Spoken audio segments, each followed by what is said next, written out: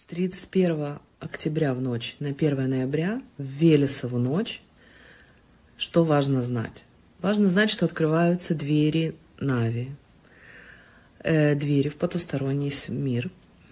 Это неплохо и нехорошо, просто нужно этот момент учитывать. И то, о чем будут ваши мысли, то вы привлечете.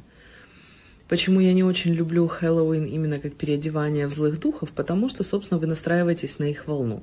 Но это кому что ближе, возможно, вам так интереснее. Что предлагаю я? Настроиться на свой родовой канал. Это очень важно. И не важно, знаете ли вы своих предков. Они в любом случае у вас были, раз вы есть на этом свете. Давайте вместе попробуем такую практику. За правым плечом вы представляете папу, за ним бабушку с дедушкой. Даже если вы их не знаете, просто представьте. И туда дальше, уходящие вглубь веков, огромное количество ваших предков. Просто представьте. За левым плечом маму, за ее спиной бабушку с дедушкой по ее линии, и туда дальше, опять же, мамин род. Ощутите, вот просто ощутите в этой своей внутренней тишине и гармонии, ощутите, эту силу, которую дает ваш род. Представьте, сколько всего они знали, умели, чтобы до, ваш род дошел до этих дней, чтобы вы родились, чтобы у вас получилась жизнь. Они пережили войны, голод, лишение, очень много всего, предательства, измены, большую любовь, большие деньги, малые деньги, все что угодно.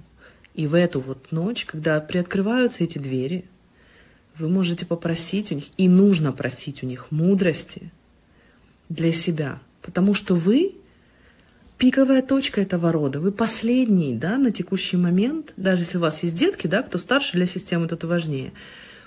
И вы очень важный элемент, то есть вся их, э, все то, что они делали, заканчивается в вас.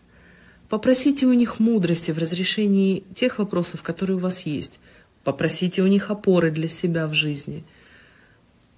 Попросите совета. Если сделать это вечером, вот перед самым укладыванием ко сну, да, представьте все это дело, зажгите свечу. Если будет такая возможность, поставьте на подоконник какое-то угощение, например, какие-то э, фруктики, сухофруктики, какую-то выпечку для них.